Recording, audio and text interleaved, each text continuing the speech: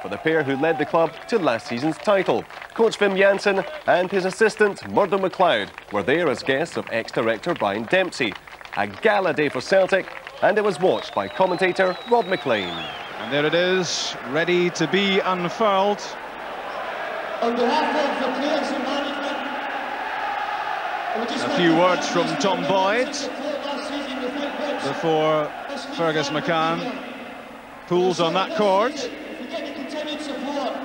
And then we'll see the league flag for 97, 98. Celtic start the season with a bang. There's the league flag. The last one, which was fluttering above Celtic Park, undoubtedly showing the signs of wear and tear. But there's a crisp new replacement.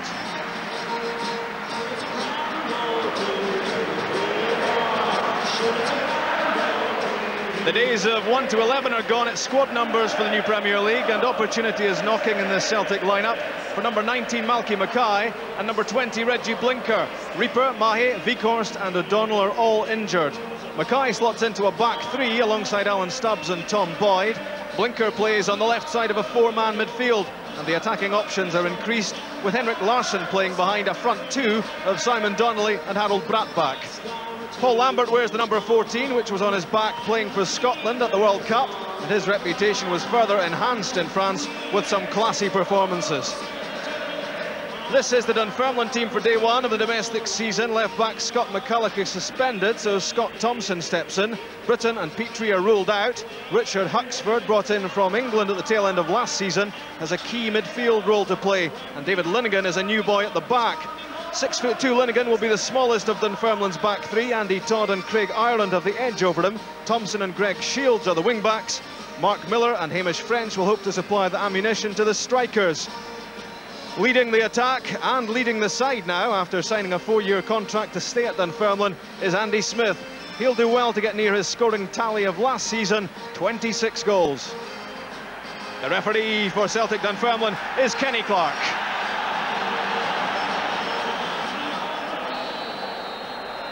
The Scottish Premier League is underway. And it's champion Celtic against Dunfermline in their third season back in the top flight. And they get more and more impressive every time you see them. Strongly tipped in the last couple of seasons to go back down into the first division. But they love being written off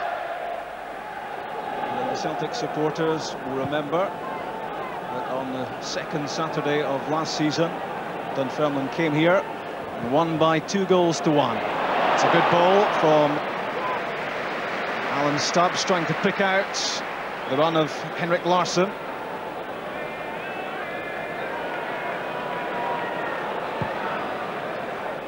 First touch for Ian Westwater. It's Andy Smith's flick finding George Shaw. Mark Millar linking with Greg Shields. Good build-up. In from Shields and drifting over the top of Jonathan Gould's crossbar. The build-up was certainly good there. Greg Shields very much involved. Set up by Millar, but off target with the cross. It was won by Huxford. Stuffy defending from Dunfermline. Celtic fans reckoned that was out off Mark Millar, but play on, and now Lambert. Brattbakk's just ahead of him, here he is. Can Brattbakk thread it through? In the end, the shot at goal, which cannoned off Craig Ireland.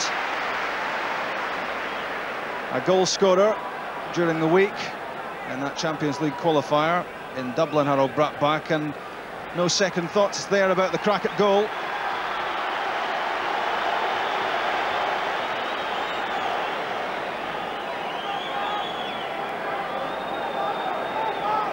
Stubbs is on the near post for the Blinker corner. Ordered away by Andy Smith, who's hit the ground and he's in trouble. This will be a big worry for Dunfermline. Smith grounded in the penalty area. He fell badly by the looks of it as he jumped for the header. to clear the corner kick. And this could be very costly for Dunfermline. Sympathetic applause. What a huge blow this is for Dunfermline. And on in Smith's place comes 20-year-old Craig Faulconbridge on an extended loan spell from Coventry City. And Celtic remember him well.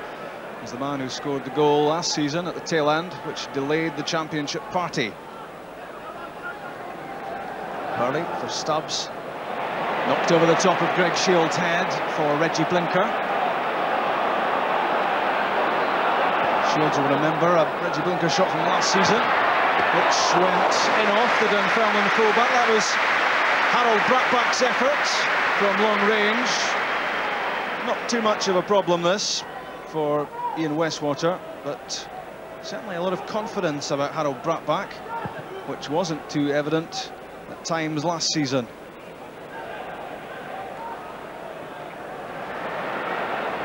Brattbakk's flick for Larsson. That's well played by Brattbakk, but it's toe to the ball, through to Craig Burley. Burley gets it back from Lambert.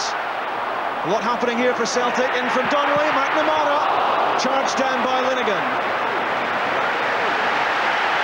And the Celtic supporters enjoyed that. The team getting forward in big numbers. This was a real threat to Dunfermline. The pass there from Craig Burley and McNamara's shot back off Linighan. Burley to Blinker, moving at pace, three up ahead of him. Simon Donnelly making a run in behind. Still Blinker. And Reggie Blinker forcing the corner kick. Although there were targets in the middle. Donnelly, Larsson, Brattbakk, all waiting. Reggie Blinker unable to find the ball in, which would have offered a goal-scoring opportunity. The men in the middle there who fashioned last season's league success. Guests here today, Wim Jansen and Murdo MacLeod. Corner kick taken by McNamara. Uh, now well dealt with by Ian Westwater, who plucked the ball off the head of Malky Mackay. He was in a really threatening position at the near post. The short corner, quickly taken. Mackay the target. Good hands from Westwater. Nicely flighted ball from Jackie McNamara. And that's good goalkeeping. Simon Donnelly back in a deep position, linking with Alan Stubbs, and now Tom Boyd. Reggie Blinker is down the touchline, and in some room in the middle is Craig Burley. Gets it back from Simon Donnelly. Good movement off the ball. Donnelly's available again, here he is. Shaping for the shot. Good covering by Andy Tod, but that's for Blinker. Blinker Back onto the right foot now. Craig Burley's shot came off Hamish French. Here's Donnelly. Simon Donnelly's efforts. A touch too high, but well worth it. Celtic were queuing up at the edge of the area. Burley had an effort. Reggie Blinker thought about it. And then finally cutting in, it was Simon Donnelly.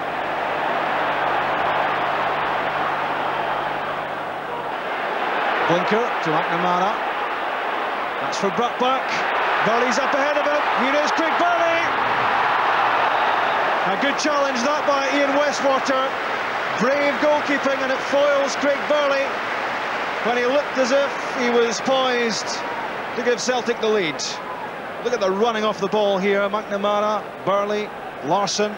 The effort at goal was from Craig Burley, lifted over Westwater, but the goalkeeper did enough to make sure that the Burley effort was off target. Out of the corner of his eye, Burley must have seen the yellow jersey bearing down on him. And he took a knock in the process as well. And that was an important intervention. There's the new management team in the Celtic dugout.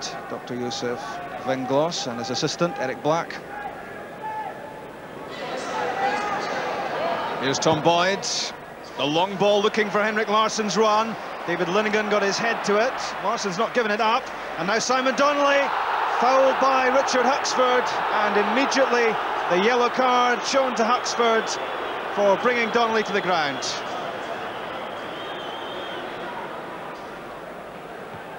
McNamara on the free kick, finding Craig Burley. He'll be disappointed that he couldn't put that header on target. He found a lot of space right at the heart of the Dunfermline defence. There'll be an inquiry about the room he was given here, but Burley couldn't punish them.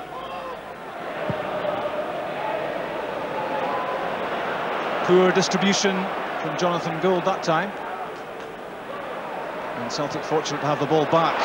Good pass from Craig Burley, finding back. Simon Donnelly running onto it. The shot charged down. More frustration for the Celtic players and the supporters. Good play from Paul Lambert. Almost taking too long. Faulconbridge was chasing him. Alan Stubbs, Henrik Larsson alongside him. back up ahead. Here's Harald Brattbakk. So close number one. A good effort from Brattbakk. Criticised last season a lot of the time Harald Brattbakk, but 10 goals from 21 appearances. Not a bad ratio, and nearly number 11 for Celtic there. Picked out by Larsson. Good movement again and Westwater happy to see this go over the top. The back heel from Lambert. Craig Burley had to stretch to get there. Donnelly's effort came off Andy Tod. And there are increasing signs of frustration about the Celtic players as they try to find new ways of getting through this Dunfermline defence. Free kick taken quickly there. Back from Larsson to Craig Burley. Well struck! That's the opening goal! 90 seconds into stoppage time at the end of the first half. And somehow it had to be Craig Burley. His first goal of the season. He scored 15 times last season, the Football Writers Player of the Year. A scorer for Scotland at the World Cup as well. And when this was laid back cleverly by Henrik Larsson, it always looked likely that the Burley shot would end up in behind Ian Westwater, and that's the reaction that it provoked on the Celtic bench. That's our time. And Craig Burley's goal inside stoppage time giving Celtic the lead. And there'll be a lot of relief about that goal, apart from the obvious delight, because Celtic were looking frustrated. They'd had so much of the game and so many chances. This was a headed opportunity for Malky Mackay. The ball plucked off his head by Ian Westwater. Then it was Burley through the middle, foiled again by the Dunfermline goalkeeper's dive. That was an effort from Simon Donnelly, which cannoned back off this stout Dunfermline defence. And Harald Brattbakk's effort there, just too high. Then 90 seconds into stoppage time. Craig Burley's shot deflected off Ireland behind Ian Westwater. And these Celtic fans are happy because it's Celtic 1, Dunfermline nil. Dunfermline get the match restarted. That Celtic goal must have been a real blow to them. They'd kept Celtic at bay for so long. 46 and a half minutes of the first half by the time Craig Burley blasted the ball home. And Dunfermline obviously highly inconvenienced by the early loss of skipper and striker Andy Smith.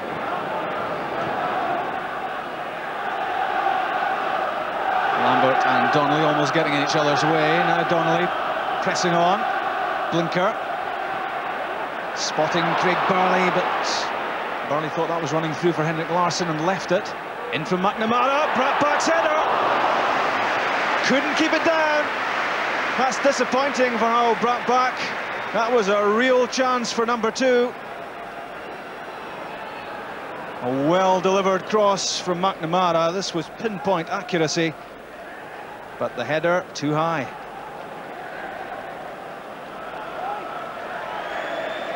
Brattbakk would have expected to have at least forced Westwater into a save here. It's well done by Harald Brattbakk and quickly moved on by Blinker. Harald Brattbakk again on the end of Lambert's pass. Larsson and Donnelly in the middle. Brattbakk going it alone. Stumbled as he shot.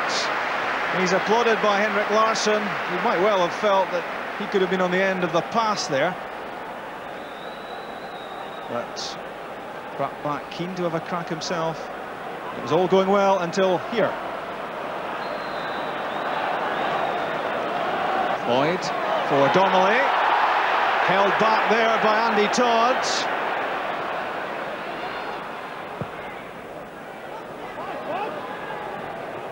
By the blonde head of Burley, and again, this time with his foot. Good pass for Simon Donnelly! That's number two.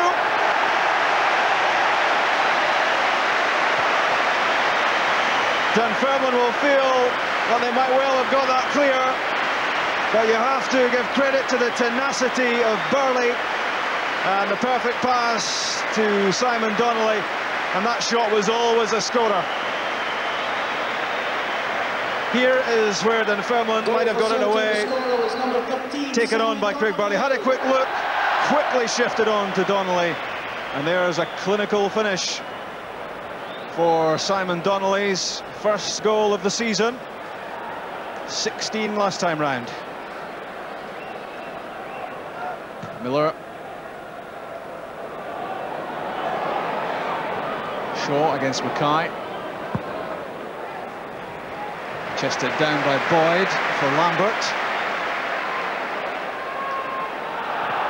Craig Burley spotting that Harald Brattbakk was on the run. Here comes Brattbakk, chance for number three. Kicks the ground in disgust. Brattbakk knows that by now he really should have added to his European goal in the midweek. It was a good run, he really is quick, found by Burley, but that shot sliced well off target.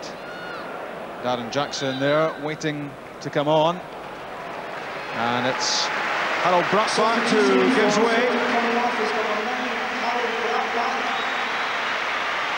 And coming on for Celtic is number 15, Darren Jackson.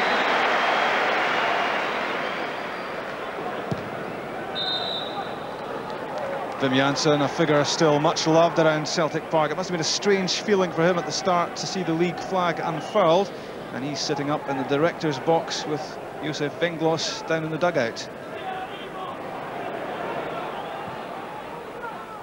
Linighan to French. That's a good pass. Greg Shields can keep this in. Having a look at what's available in the middle. Faulconbridge didn't quite time the run. That's the sort of situation in which Dunfermline have looked at Andy Smith to profit. Sadly for them, he lasted only eight minutes of the match.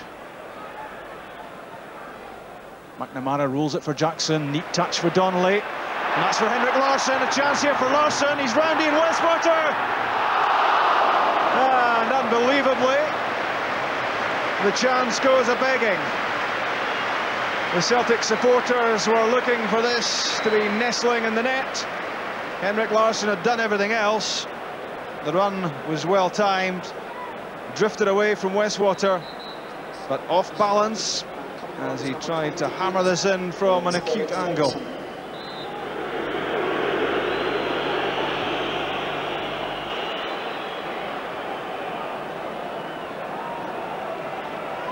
Oh, that's neat play from Paul Lambert. So confident. So much in control. Now Darren Jackson. Over the top of Greg Shields. Inviting for Reggie Blinker. And so close from Craig Burley. So close to his second and Celtic's third. That was uh, an excellent ball played in by Reggie Blinker. He had a look there, and this ball curled away from the diving Westwater. And all it needed was a touch from Burley and it was in the net.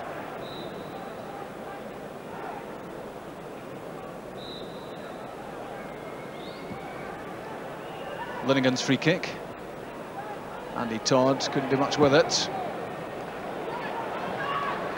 Tom Boyd's clearance. Darren Jackson proving a hot handful for Ivo Den Bieman. Having a look at what's available in the middle. Nice pass for Henrik Larsson. Onto the left foot from Larsson. And it was charged down. I think it took a touch off Derek Ferguson. And it just trickled through to Westwater. Good play here from Jackson. Did well in the setting up of Henrik Larsson. Feinted as if to shoot with his right. Then the effort with the left foot deflected off Ferguson.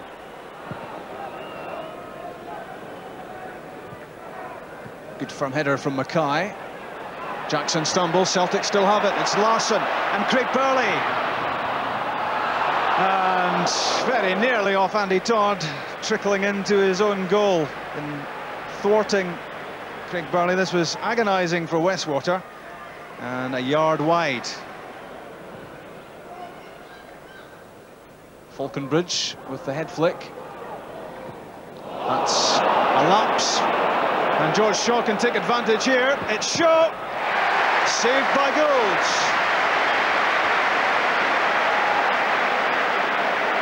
Apologies offered by Alan Stubbs for that lapse. And it could have been a costly one. Here's Jackson. Off Linighan. Jackson again. Charged down this time by Den Bieman.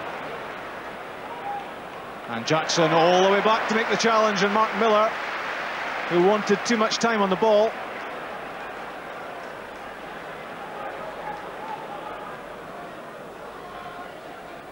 Lambert and Donnelly. Henrik Larsson's up ahead of him, Jackson two, and Jackie McNamara alongside. It's well played by Huxford. Tenacious got in in front of Donnelly. Andy Tod. Craig Faulconbridge couldn't control it. Alan Stubbs very happy indeed that this didn't lead to more serious repercussions. George Shaw, a real chance to pull one back for Dunfermline. Good goalkeeping from Gould.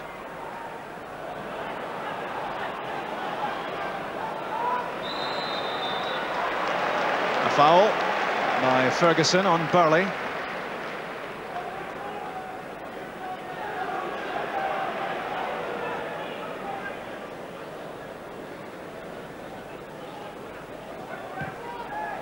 Burley on the free kick. Through for Reggie Blinker. Well, I wonder if Reggie Blinker should have had a quicker hit there. He might well have done better. Great vision from Burley. Superb ball for Reggie Blinker. And maybe here was the point at which Blinker should have had the shot at goal. In the end, it didn't trouble Westwater.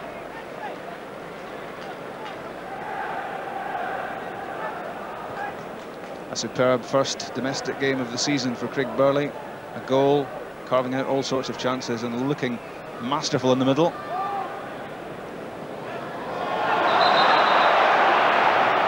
Well, Mark Millar and Paul Lambert almost ended up running down the tunnel together there. And Lambert wagging his finger in the direction of the Dunfermline dugout. Obviously words were had there, there was shirt tugging.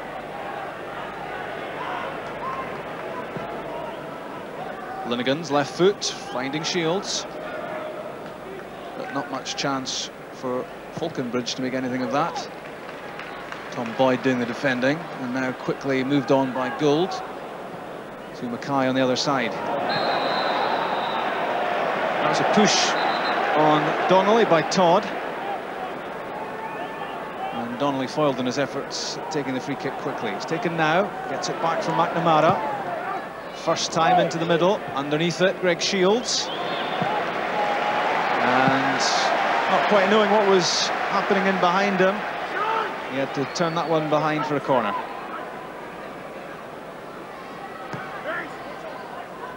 Back from Blinker to Burley. Well-weighted pass for McNamara. All the way over to the other side now, Donnelly. Lofted in, Malky Mackay's header! That's 3 0. And a sweet moment for Malky Mackay.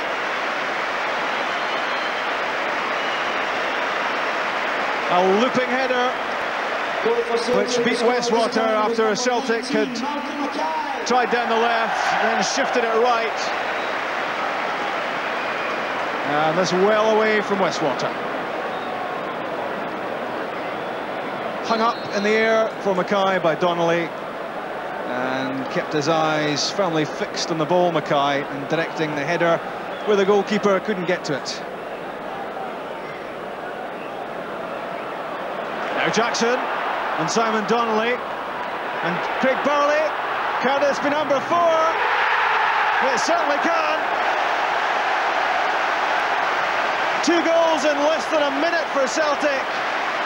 And that's 4-0.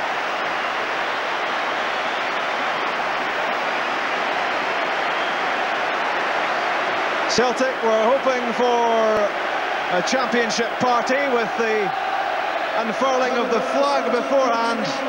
And that's now the way it's turning out. A second goal for Craig Burley.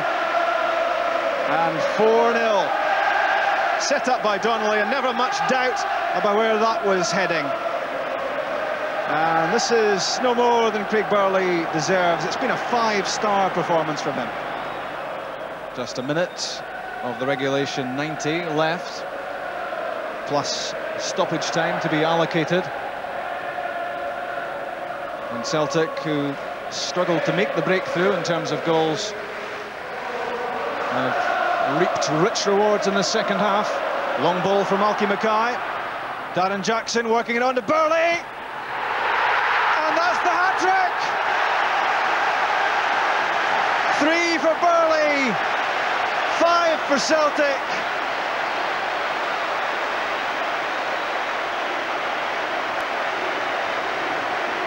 It's polite applause and all very calm down in the dugout. And there's that gap-toothed smile that says Craig Burley is off to a sensational start in the new season. On day one, a hat-trick set up by Darren Jackson. And I'm sure the injury to Ian Westwater possibly explains why this shot got through. This was one that the goalkeeper would hope to have stopped, but it went under his body and into the net. And who can deny Craig Burley his moment? Blinker to Lambert, looking for Donnelly. Good tidying up work by Thomson. The pass for Den Bieman.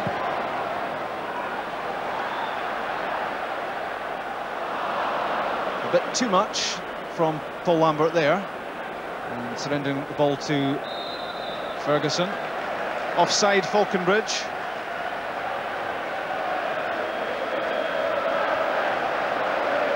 He wasn't a popular figure when he held up the celebrations last season for Celtic, but he hasn't been able to do much damage to them today.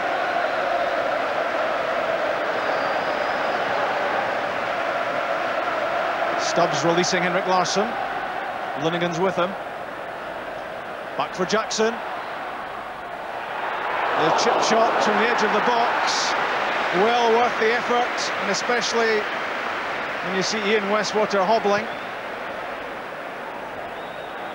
And this was well judged by Jackson, and it was a difficult job for Westwater to prevent that crossing the line.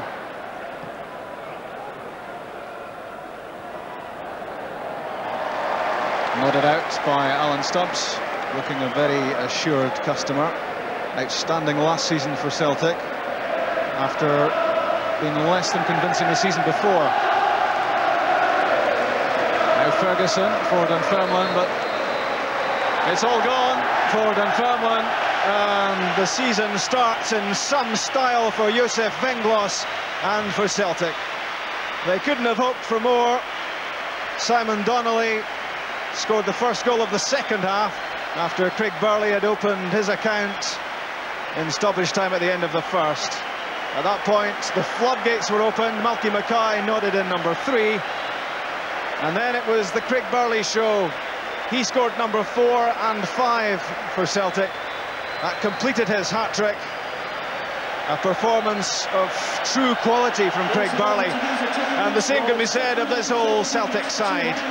Lots of poise, lots of assurance, lots of confidence. And they're going to take a lot of beating as they set out in defence of the title in this new Scottish Premier League campaign.